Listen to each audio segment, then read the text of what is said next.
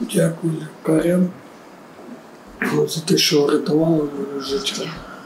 Це 19-річний Павло. Хлопець два тижні перебуває у лікарні з важкими травмами голови. Його мати Анна Сорело розповідає, лише кілька днів тому він почав розмовляти та посміхатися, і день як їсти самостійно. 9 серпня внаслідок ворожої атаки по Шевченківському району Запоріжжя уламок від ракети влучив Павлу у голову. Сзади ракета разорвалась, и уламок прилетел ему прям в центр головы. От сильного удара он упал и ну, потерял сознание. И потом приехала вовремя, приехали скорые, вот, и реанимировали его. И он остался живой. Після цього Павла привезли до лікарні. Оперували його протягом п'яти годин. Достали уламок цієї ракети, і там ще попало очень много осколков, и произошло кровоизлияние в мозг. Вот это все врачи боролись за его жизнь и доставали все вот эти вот э, уламки, чистили ему мозг. Анна каже, поки її син був на операційному столі, не припиняла молитися. Я не плакала, не кричала, и не, не падала в истерику. Просто я молилась за него. Я вот представила, что я рядом с ним в операционной, я с ним в- рядом в реанимации. Я держу его за руку и говорю, сыночка, ты сильный, ты справишься, ты молодец. Мама рядом. На третій день після операції Павло на добу впав у кому, розповідає його мати. И потом он вышел с комы и перевели его в другую уже реанимацию уже, конечно. Там уже, уже он был в сознании.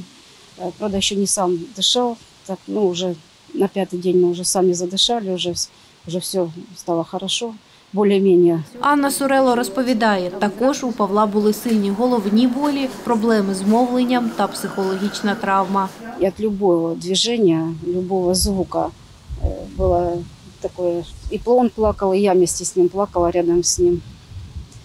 А сейчас уже немножко стал поспокойнее. Нині Павло майже повністю паралізований. Рухати він може тільки лівою рукою. Анна каже, лікарі потроху починають реабілітацію хлопця. Роблять масажі, на кілька хвилин намагаються поставити на ноги та посадити. врачи э, правильно делают, что заставляют его, что надо рукой шевели, э, шевели ногами, надо трудиться, чтобы заново стать на ноги. От трех месяцев до полгода надо лечение, чтобы восстановить голову, а потом от э, полгода до года нужна реабилитация, чтобы поставить его на ноги. Анна Сорело розповідає, Павло їхній єдиний син.